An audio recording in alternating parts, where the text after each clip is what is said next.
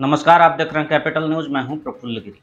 पांकी में मुखिया संघ के द्वारा 27 अगस्त से अनिश्चितकालीन कलमबंद हड़ताल शुरू कर दिया गया है। मुखिया संघ के अध्यक्ष राजेंद्र पांडे उर्फ़ जितेंद्र पांडे ने बताया कि झारखंड प्रदेश मुखिया संघ के द्वारा राज्य वित्त आयोग की राशि पंचायत को देने सहित विभिन्न मांगों को लेकर पांकी प्रखंड के सभी मुखिया 27 अगस्त से अनिश्चितकालीन कलमबंद हड़ताल पर हैं। उन्होंने ये भी कहा कि झारखंड सरकार के द्वारा दो बार हम जनप्रतिनिधियों को समय देकर भी वार्ता करने से इनकार कर दिया गया।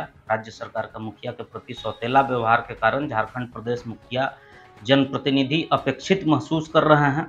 विवश होकर सभी मुखिया निश्चितकालीन हड़ताल पर हैं। संबंध में मुखिया संघ के द्वारा पांकी प्रखंड विकास पदाधिकारी को लिखित पत्र भी सौंपा गया था। मौके पर मुखिया संघ के अध्यक्ष के अलावे मुखिया संघ के उपाध्यक्ष मुकेश सिंह, लोकनाथ यादव, अनीता लोहरा सहित विभिन्न पंचायत के मुखिया उपस्थित रहे। झारखंड सरकार तो पंचायती राज व्यवस्था के साथ सौतेला व्यवहार के चलते आज पूरे 27 आठ 2024 से झारखंड प्रदेश के सभी मुखिया अनिश्चित कलमबंद हड़ताल पर चले गए। हम लोग का सरकार से यही मांग है कि जब तक सरकार झारखंड वित्त का पैसा और स्टेट जो यहाँ पर देते हैं, उस तरह से जो है सो झारखंड वित्त का पैसा हम सभी को चाहिए।